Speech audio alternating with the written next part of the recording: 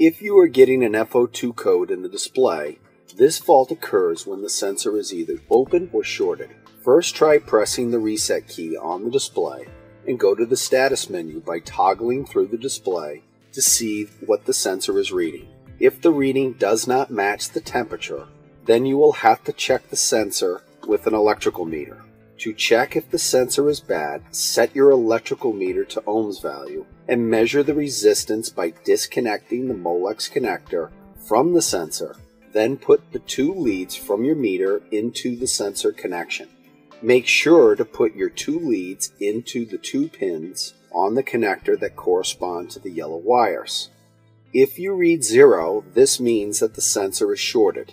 If you are getting a reading other than zero, check this reading against the chart within the manual to assure that the sensor is measuring a correct value based on a given temperature. Replace the sensor that does not read correctly or shorted. If the sensor does not show a fault, check wiring and wiring two connectors. To check wiring, first, remove the 10 pin Molex connector and the 20 pin Molex connector from the control board. Once the two connectors are removed, locate the yellow wires in each connector.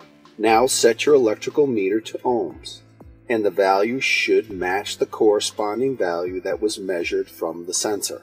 If it does not, check the wiring to connectors to assure that there is no loose connection.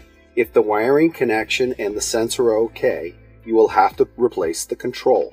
Once the corrections have been made, simply press the S4 reset key on your display to put unit back in operation.